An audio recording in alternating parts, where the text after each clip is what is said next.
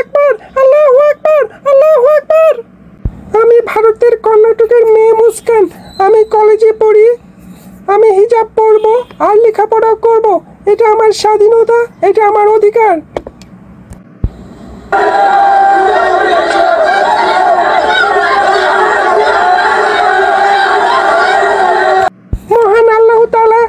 শ্রেষ্ঠ জাতি, মানব জাতি সহ অন্যান্য জীব ও মহাজগৎ সৃষ্টি করেছেন।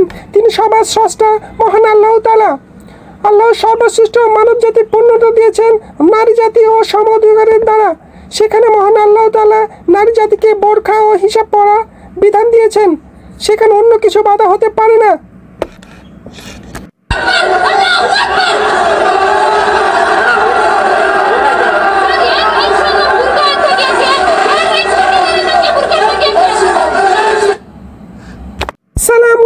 রহমতুল্লাহ।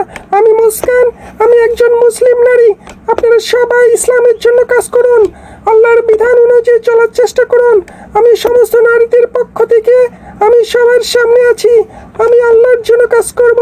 আল্লাহ হাফেজ, সবাই ভালো থাকবেন। আল্লাহ একবার